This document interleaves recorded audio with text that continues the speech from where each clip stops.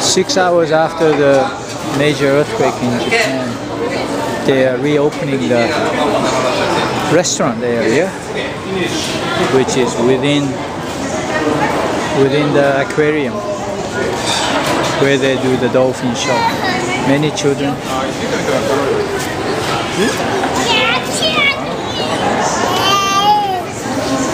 People are nicer to each other. That's interesting.